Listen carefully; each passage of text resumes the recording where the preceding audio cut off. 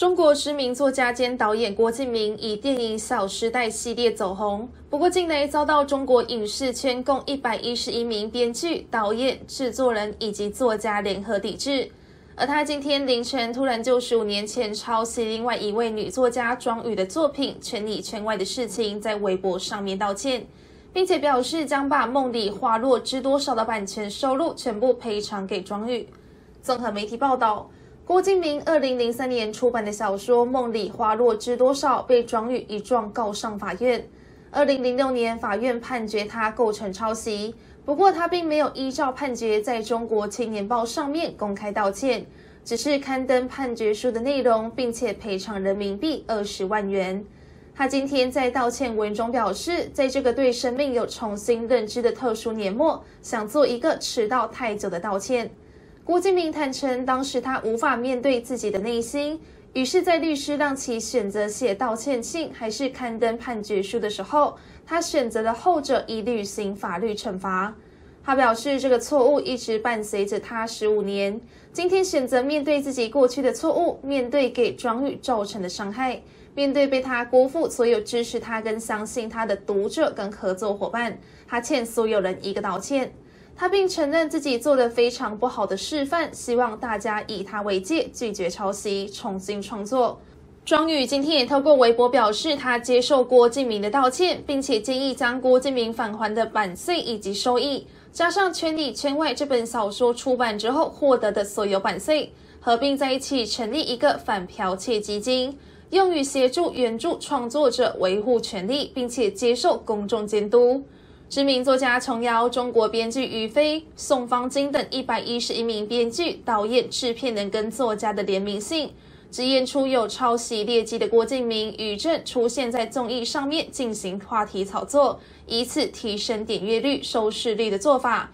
已经引起相关从业人员跟社会各界的反感。联名信呼吁不要给超级剽窃者提供舞台，要多宣传德艺双馨的艺术家，尊重原创。与此同时，以《延禧攻略》爆红的中国知名制作人于正也是联名信的抵制目标。于正一直以来都颇具争议，剧作也时常传出抄袭。他的《宫锁连城》就直接抄袭琼瑶的作品《梅花烙》。不过，尽管负面影响产生，于正依旧依然故我。在郭敬明发布道歉文之后，于正竟然也在今天上午公开发布道歉函，表示琼瑶是自己从小到大的偶像。关于公所连城侵犯梅花烙版权的事情，他现在才来道歉，并非不愿意坦诚错误，而是缺乏足够的勇气，并表示自己在这六年里面并非一帆风顺，承受了巨大压力，除了赔款之外，还要面对平台投资方一系列的赔偿，简直是血一般的教训。他还直言表示自己已经知错了，向所有原创者道歉。希望自己的经历可以为每一个创作者带来警惕、敬畏原作、尊重法律。于正道歉也让中国网友纷纷吓坏了，表示今年最后一天真是什么稀奇的事情都见证了。也有网友表示，看来联合抵制真的有效，把孤傲了一辈子的余震都炸出来了。先前为中国从事间谍活动、向美国官员套取政治跟国防机密资料的新加坡籍男性姚俊威。已经在十二月三十号被遣返回新国，并且在同一天被新加坡内部安全局逮捕。而在此同时，日本媒体记录，大概有五千名中共党员渗透到日本三百间企业里面。对此，一向被视为亲近北京的日本共产党委员志卫和夫也罕见表态，反对日本邀请习近平以国宾身份访问日本。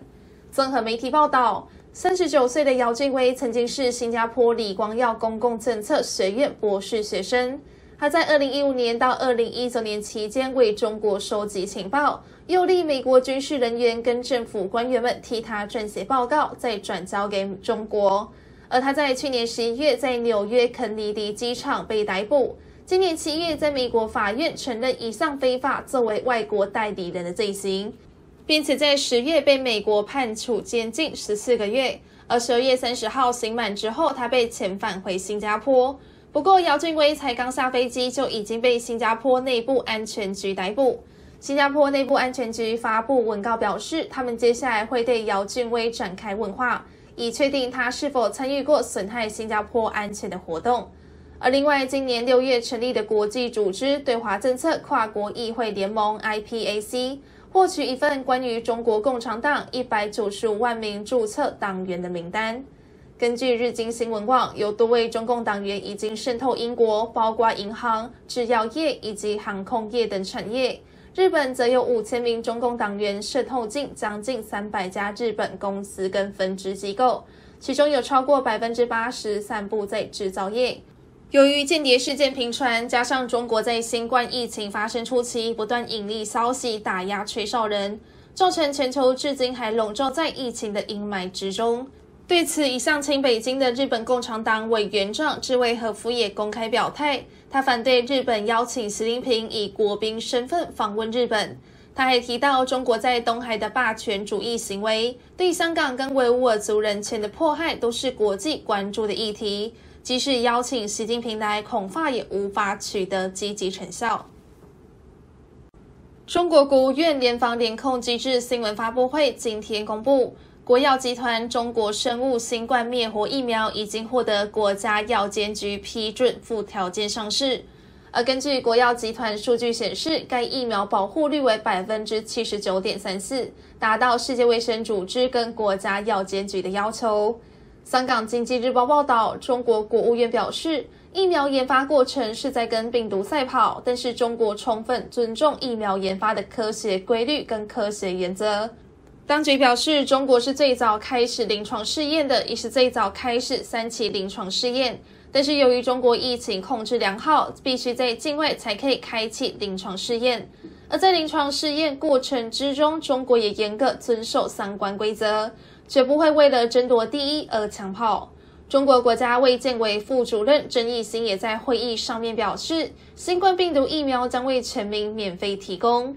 不过，尽管中国当局蓄势待发，要将疫苗推广到全球各地，但美国之音跟央广指出，中国过去曾经发生多次毒疫苗事件，加上中国新冠疫苗的研制过程跟品质也缺乏公信力。在中国国内就传出有许多医护人员拒绝施打中国疫苗。上海复旦大学附属华山医院感染科主任张文宏教授在十二月二十二号一次会议上面就公开表示，他认为领导应该要先打疫苗。而翻阅资料，江苏镇江市疫苗接种底摸紧急通知显示，当地官员们没有一个人报名施打疫苗。上海十一月份类似报告也显示，杨浦区中医院更是超过九成的护理人员都拒绝施打疫苗。毕竟，中国一向是一个让领导先走的国家。前中国青年报冰点杂志编辑李大同也认同张文宏的说法，他表示，中国疫苗资讯太不透明，不如等领导阶层。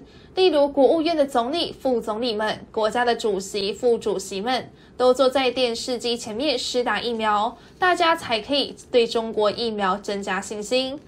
值得一提的是，中国疫苗定价并不便宜。江苏官方日前招标采购由科兴生技等业者得标的两款新冠疫苗，得标价为每剂人民币两百元，大概是美金三十点六。而相较之下，辉瑞疫苗报价仅有十九点五美元，莫德纳报价为三十七美元，是采购量可以降至二十五美元。至于英国牛津大学跟阿斯特捷利康合制的疫苗，只要三到四美元。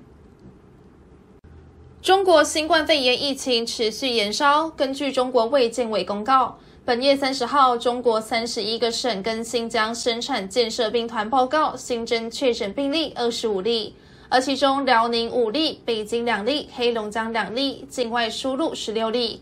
并新增无症状感染者八例，辽宁三例，黑龙江一例，境外输入四例。由于辽宁已经连续多天出现本土病例，当局也在三十号下午宣布，辽宁省沈阳市立即启动响应政策，全面进入战时状态。根据自由时报引述中国媒体报道，辽宁省的本土病例皆出现在沈阳市以及大连市，因此当局决定全方位排查风险人员，以防止疫情持续扩散。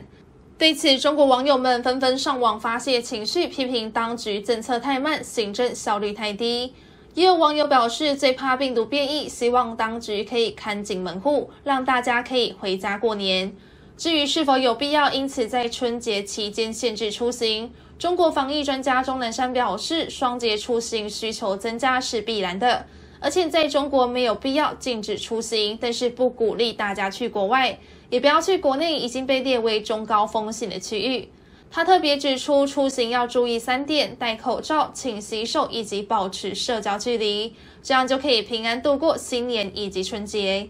另外，也有许多人担心冬季疫情是否会反弹。钟南山表示，反弹是指又像一开始那样病例大规模增加，这是不会发生的。中国已经形成非常有效、非常严密的防控，不过肯定会有疫情反复散发出现的情况。对此，钟南山也坦言，现在有变种病毒情况，传染性会增加，但目前没有证据证明变异会引起病毒对疫苗的抵抗，或是病毒的毒力会更加加重。